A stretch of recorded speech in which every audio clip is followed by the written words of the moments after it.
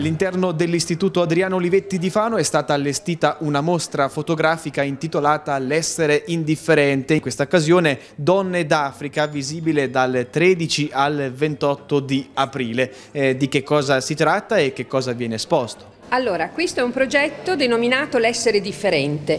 In pratica il valore della differenza chiaramente in chiave positiva. Qui eh, sono rappresentate donne africane che hanno fatto la differenza in tanti campi. Quindi eh, la differenza non intesa come eh, valore eh, da sminuire ma come valore aggiunto.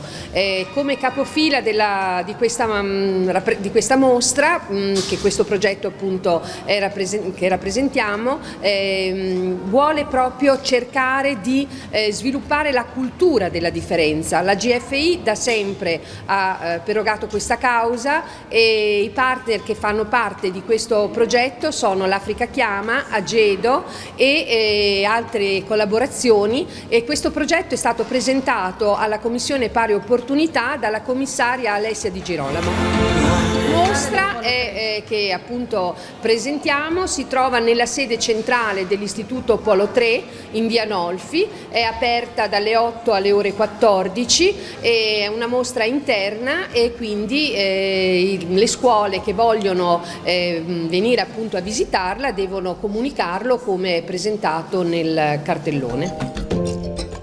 L'Istituto Olivetti, che nei suoi indirizzi offre anche quello di grafica e web community, ha redatto una locandina su questa iniziativa. L'elaborato scelto è quello di Gioele Canistro. Gioele, che cosa hai rappresentato? Allora, nel mio manifesto eh, intitolato Donna in Africa ho raffigurato una donna africana con la bandiera eh, con il continente africano che comunque dopo varie scelte di design ho scelto di metterla, metter l'Africa nei capelli.